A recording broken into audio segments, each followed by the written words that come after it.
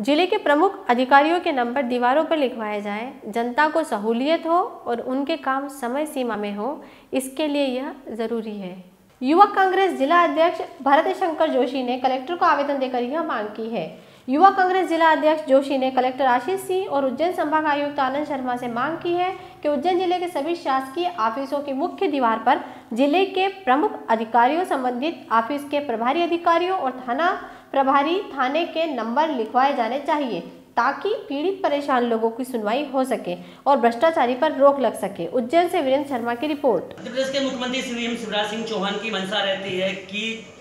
हर ज़िले के अंदर पारदर्शिता हो और संबंधित विभाग के जो अधिकारी हैं, वह पारदर्शिता और बेहतर तरीके से काम करें। उसको लेकर वीडियो कॉन्फ्रेंसिंग भी की जाती है। साथ ही समय समय पर बैठक भी में निर्देश भी दिए जाते हैं। अगर आप बात करते हैं उज्जैन ज़िले की तो जितने भी जो राजस्व का मामला हो या खनिज विभाग का मामला हो, तमाम प्रकार के जो ऑफ़िस हैं, उन पर ना तो कोई सूची चस्पा की हुई है, ना संबंधित अधिकारियों के कॉन्टैक्ट नंबर हैं, ना ही लिस्ट लगी हुई है, ताकि वह पीड़ित या परेशान व्यक्ति उसका आवेदन या समस्या है, उस पर अगर सुनवाई नहीं होती है और निराकरण नहीं होता तो संबंधित विभाग के अधिकारी को बता सके। जो भी राजस्व विभाग हो नगर निगम हो तहसील हो, टप्पे हो स्वास्थ्य विभाग हो, सिविल हॉस्पिटल हो, जितने भी ऐसे सरकारी विभाग जो जनता से सीधे जुड़े हुए हैं हम चाहते हैं कि वहाँ पर जिलाधीश महोदय उसके द्वार पर एक बोर्ड लगाए और वहाँ पर जो भी संबंधित अधिकारी हैं जो जनता से आ,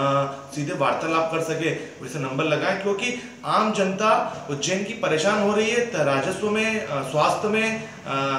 संबंधित थानों पर उनकी सुनवाई नहीं हो रही है। तो जिलाधीश मुद्दे से मांग कर रहे हैं इस माध्यम से कि आप सारे जितने भी प्रमुख विभाग हैं स्वास्थ्य राजस्व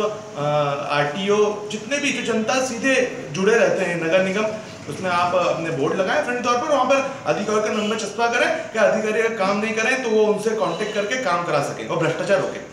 अध्यक्ष जी बात करिए आपने कि कॉन्टेक्ट नंबर लिखे जाए और पारदर्शिता लाई जाए। तो किस प्रकार से इस प्रकार से जब माननीय जिलाधीश के कॉन्टेक्ट नंबर रहेंगे माननीय संभाग आयुक्त के नंबर रहेंगे तो किस प्रकार से भ्रष्टाचारी पर अंकुश लगेगा और किस प्रकार से क्या आप मानते हैं? एक तो जितने भी आ, सरकारी विभाग हैं वहाँ पर भ्रष्टाचार चरम पर है। अधिकारी आते नहीं है कर्मचारी आते नहीं है, स्वास्थ्य विभाग के, कहीं के भी।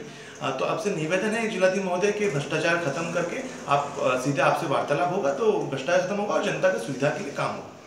तो देखा किस प्रकार से जो है युवा कांग्रेस के जिला अध्यक्ष भरत शंकर जोशी जी ने कहा है कि हम शीघ्र ही उज्जैन जिलाधीश को पत्र के माध्यम से भी अवगत करवाएँगे। साथ ही सूचना तंत्र या फ़ोन के माध्यम से भी उनको बताया जाएगा और मांग करेंगे कि उज्जैन ज़िले के जो तमाम शासकीय ऑफ़िस है, वहाँ पर संबंधित अधिकारी और जिलाधीश सहित उज्जैन के जो प्रमुख अधिकारी हैं, उनके कॉन्टैक्ट नंबर रहें ताकि आवेदनकर्ता, शिकायतकर्ता उनको अपनी समस्याएँ बता सके। साथ ही अगर सुनवाई होती है तो मैं पूर्ण रूप से संतुष्टि के तौर पर भी जवाब दे सके। उज्जैन से Virendra Sharma voice of rights के लिए। उज्जैन ज़िले की अगर बात करें और जमीनी स्तर पर चौराहे हों या फिर जहाँ पर राजनीतिक संगठन के लोग बैठे रहते हैं, वहाँ पर अमूमन तौर पर चर्चाएँ रहती हैं कि युवक कांग्रेस के जो कार्यकर्ता हैं पदाधिकारी उनमें उत्साह की भी कमी नज़र आ रही है और कई प्रकार की जो है चर्चाएँ भी सुनाई देती हैं कि कांग्रेस डूबता जहाज़ है कांग्रेस संगठन विपक्ष के तौर पर काम नहीं कर रही है कांग्रेस का अब कोई अस्तित्व बचा नहीं है और कांग्रेस एक मज़बूत के तौर पर अभी आ, आ, काम कर रही है। तो उस पर लेकर हमारे साथ युवा कांग्रेस के जो जिलाध्यक्ष हैं भरत शंकर जोशी जी चर्चा करने के लिए मौजूद है। किस प्रकार से यह जो चर्चा है इन पर अंकुश लगे विराम लगे और किस प्रकार से विपक्ष में मजबूती के तौर पर काम कर रहे हैं? माननीय अध्यक्ष जी बताइए जो इस प्रकार से चर्चाएँ चल रही हैं अटकलें चल रही हैं उसको लेकर किस प्रकार संशोधन किया गया क्या है? वीरेंद्र जी आप सरासर गलत बोल रहे हैं।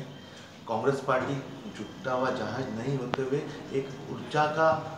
माध्यम है जनमानस के बीच क्योंकि कांग्रेस पार्टी आ, हर एक जनमानस में अपनी पेट रखती है और जो आप बोल रहे हैं कि डुबता जहाज़ यूथ कांग्रेस काम नहीं कर रही यूथ कांग्रेस के निर्वाचित में हुआ हूँ और उसके पहले ही पूर्व भी जितने भी जिलाध्यक्ष हैं, वो मजबूती से काम करते हैं। हमने कभी आपने देखा होगा, हज़ारों लोगों के माध्यम किसान आंदोलन करा था। उसकी परमिशन देने में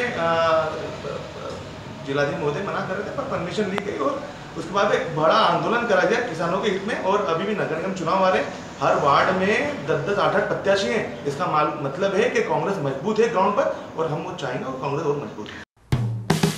हेलो फ्रेंड्स आप देख रहे हैं हमारा channel S W twenty four news हमारे सारे वीडियो सबसे पहले देखने के लिए आप हमारे चैनल को सब्सक्राइब करें और पास में लगे बेल आइकन को दबाना बिल्कुल भी ना भूलें।